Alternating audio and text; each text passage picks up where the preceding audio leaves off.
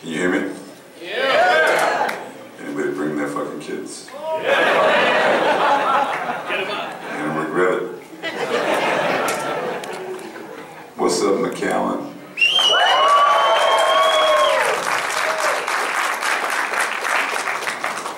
People say to me, you ever been to the valley before? I said, yeah, the San Fernando Valley. It's the one in California, man. I didn't know we were in the valley. Just got off a plane. There I was.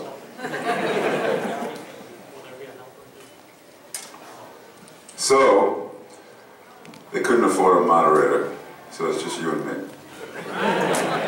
So, uh, if there's anything you've been dying to ask me, now's the time.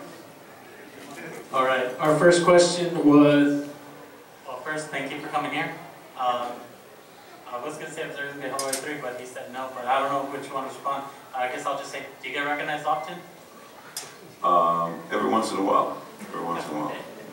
Will there be Hellboy 3? Might as well just say it. No, there, there will not be a Hellboy 3, but there will be a new Hellboy. They're calling it a reboot, Will you be a part of it? which means I got the fucking boot. They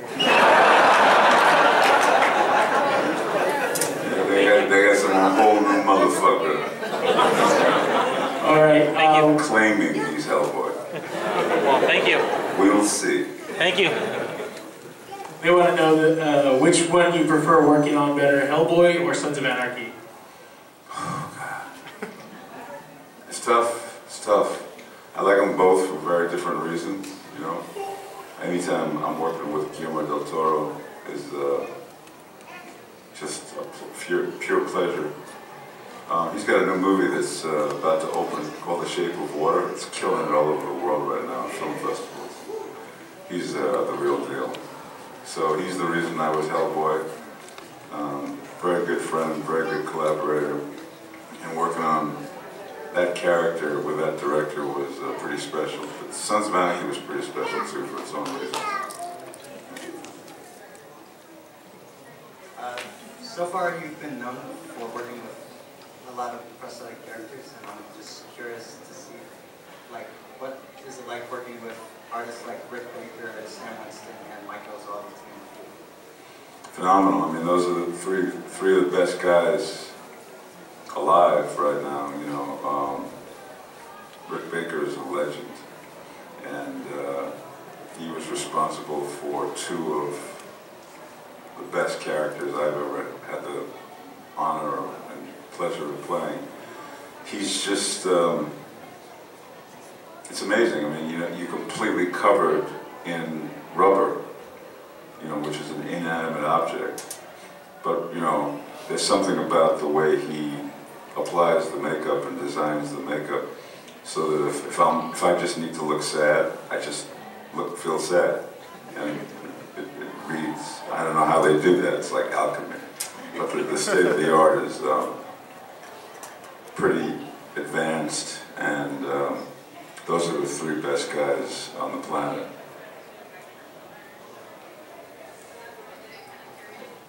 What was the first movie you ever worked on with Guillermo del Toro? Cronos. Cronos. Cronos was made in like 1992, and that was his first movie. He was 26 years old, and uh, we became like hermanos, and uh, have now done six movies together. And uh, you know, I'm really glad I said yes to Cronos. Hey, did he hook you up with that tequila he just made? No, man. I'd be pissed if I was you. Pinchy motherfucker.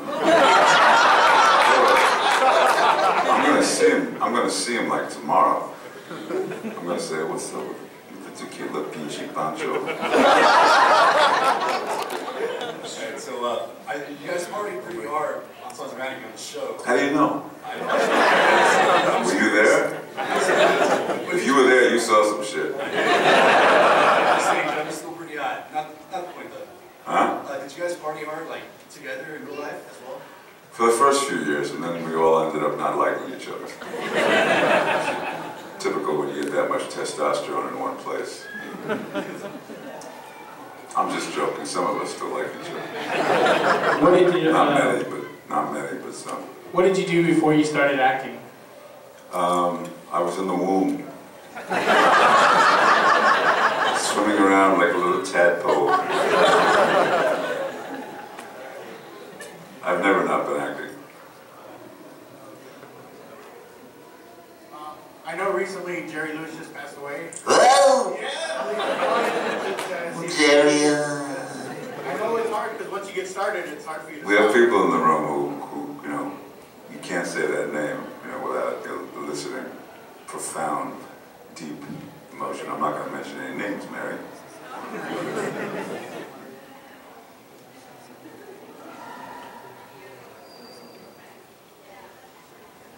Yeah, but I just had a question about, I know that um, the new reboot is not, um, you're not gonna be the new Hellboy, but I'm just saying, if they didn't, they didn't reboot the Hellboy series, and if they were to make an another Hellboy movie, would you still be willing to play the role as Hellboy? Um, you know, I, I, it's pretty well chronicled that I really wanted to make Hellboy 3 because that was part of, you know, what had already been planned as a trilogy, you know, which had a beginning, a middle, and an end. We unfortunately stopped in the middle, and then there was a lot of discussion about, you know, uh, whether enough people were going to agree to go make Hellboy 3. I was always, you know, in front of the charge to make it because I felt like we owed it to the fans who hung in there for the first two installments to see how it, how it ended. And I also know that Guillermo had an amazing idea for the third film, The Resolve. Um, but we couldn't, uh, we just couldn't all agree on everything, and then eventually, um, some of us, won't mention names, decided they wanted to go in a different direction. And uh, truth be told, they asked me, you know, if I'd be interested in coming along, and I said no. I'm only interested in finishing the trilogy. I'm 67 years old. I'm not really going to be playing a superhero for much longer, but these are the terms. And I'm only interested in doing it if Guillermo del Toro is doing it. So that's why uh, there was a split. Uh, they want to know a little bit about the process of your voice and the character you played in Afro Samurai. Mm -hmm. Like, how do you perform it? Because I don't sound like you at all. No, man. I mean, you know, I said to myself, okay, here's this bad guy who is kind of like a, a black guy wannabe. You know, he's not black. Afro Samurai is black. And he's, you know, there's there's clearly this like penis envy. Of, you know, um, you know, and, and, and think think about that. I, I wasn't that wasn't what I was going to say, but now that I think about it, yeah, that, probably that, what that that's what that was. But anyway, um, uh, so I, I I decided to play a guy who who wants to be black and thinks he's black, and then I decided to uh, model the uh, the voice after Miles Davis. smoke you down here like that. Yeah, I just did it. Fuck it, I'm not doing it again. You want me to do it again? Write a check, bro. Thanks, Ron. Uh, he wants to know Marvel or DC. Um, Schwinn.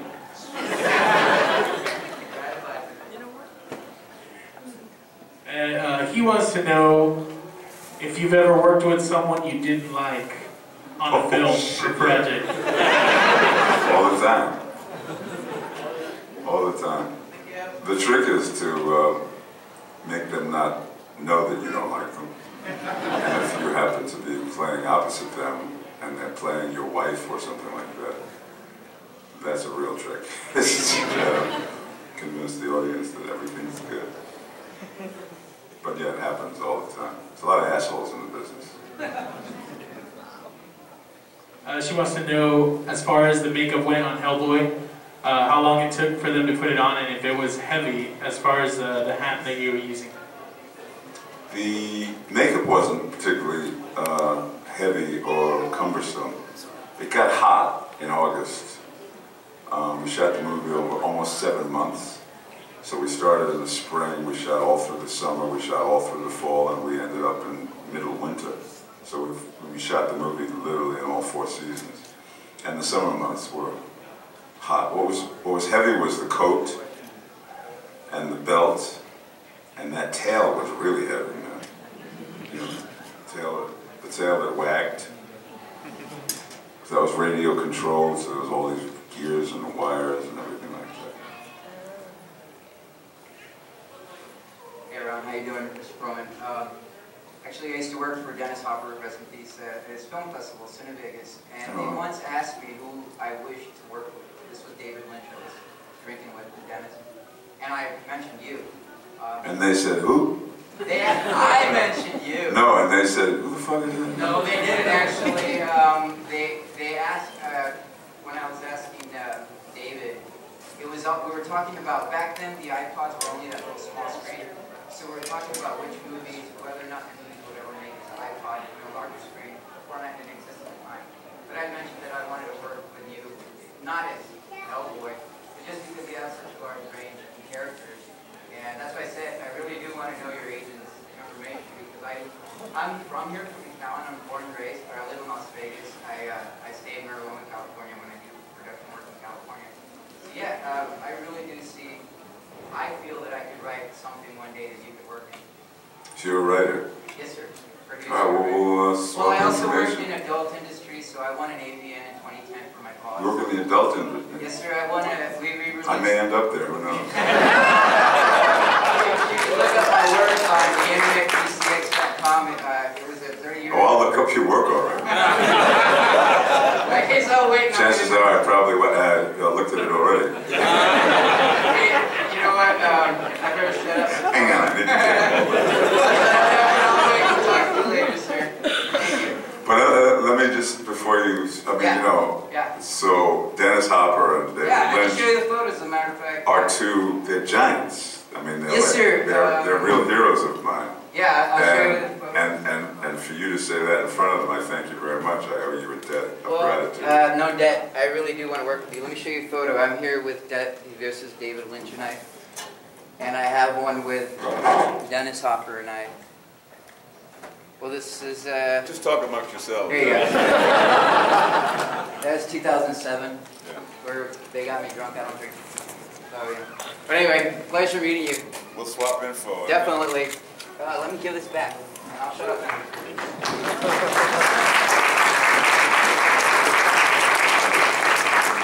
Hi, Ron. Um, Hi. my question is, is that you started off as an actor and then, I started off as an actor, now look at me. but you also do, How did I end up like this? yeah. And then you started, you It's know, a doing tough, voice. Hollywood is tough, man. Yeah, They would so- chew you up and then look at, look at, look at what they have. Uh, yeah, okay. Um, yeah. Okay, whatever. I apologize. Anyway. No, no, don't worry about it, no. Okay, you did. I know you have a point you're getting to. Yes. And then, and then you went up to doing voice acting on cartoons like Teen Titans and and uh, Adventure Time. And I was wondering how'd you go from actor to voice actor and then go back to acting again? Well, it's all acting. Yeah. I mean, you know, it's like, uh, the good, the good news about being a voice actor is that you don't have to wear pants when you're doing it. Which is probably a perfect segue to my, my, my new career in adult films. But yeah, I mean, you know, the characters you play on cartoons are, are, it's like, just like any other character that you would play as an actor. It's just a voice, your voice is doing all the work. And, um, and then they animate to your voice. So it's all acting. Okay. And what was the first cartoon that they, that you voiced in? Uh, it was called Bonkers. Oh yeah! Anybody remember? I know! Cartoon. Jim Cummings was the lead in that. Oh yeah. Andrea Romano was the director. She directed all the stuff at Warner Brothers, which was the best, continues to be one of the best uh, outlets for animated uh, programming. And she is a giant. And she gave me my start and continues to, to um, give me all these phenomenal opportunities. Okay, thank you, Ron. You're welcome. Good afternoon, Mr. Cronin. Hello. I follow you on Instagram and on other social media. Is it true you're going to run for president? I'm I'm running Uh? On 2020? 2020, maybe before.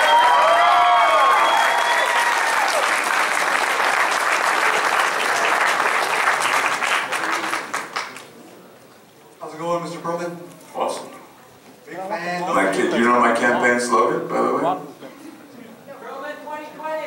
No, that's not my campaign. That's, that's, that's what's on the billboard, but my campaign slogan is 2020 is hindsight. Think about it. It's catchy.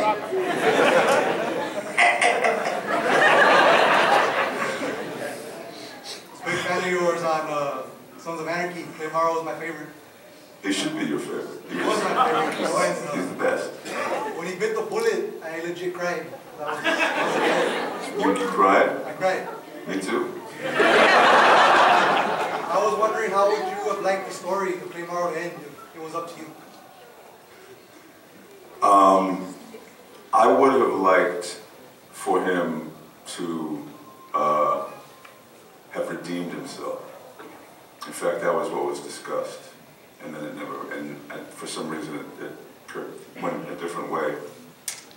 But I would have liked, in the transition of power, you know, once young Hamlet, the prince, you know, and you guys of Jax Teller assumes power, he, ought- he becomes as corrupt as the guy he took over from, which is basically the, the, what, you know, what the point of the whole show was, is that absolute power corrupts absolutely.